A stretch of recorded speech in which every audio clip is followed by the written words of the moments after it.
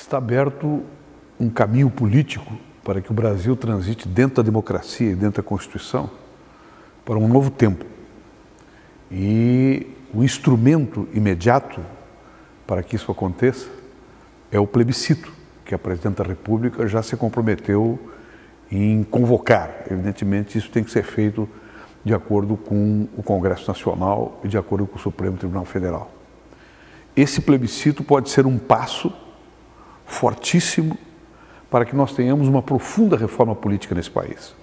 Uma reforma política vai oxigenar o espaço da política, pode revigorar a representatividade dos partidos, pode permitir, inclusive, que candidatos sem partido comecem a participar das eleições eh, para os poderes executivo e o poder legislativo.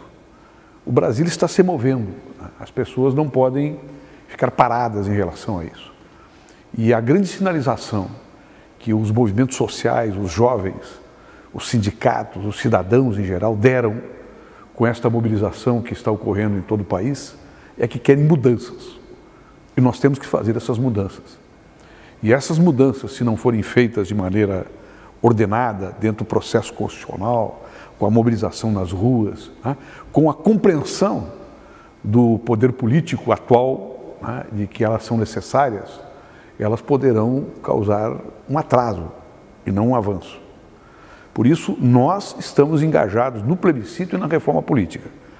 E esse plebiscito, na minha opinião, deve perguntar, inclusive, para a sociedade se quer fazer essas mudanças através deste Congresso Nacional que está aí, que esteve paralisado até ontem, ou quer uma estrutura específica prevista na Constituição, através de uma emenda constitucional, por exemplo, uma Câmara específica para fazer essa reforma política que é extremamente necessária. Essa Câmara com poderes constituintes. Não vamos cair numa discussão jurídica, como estão querendo alguns juristas né, que não leem os jornais que não se vinculam aos movimentos da sociedade, que não compreende que o poder constituinte mais forte é o poder do povo, é a mobilização popular.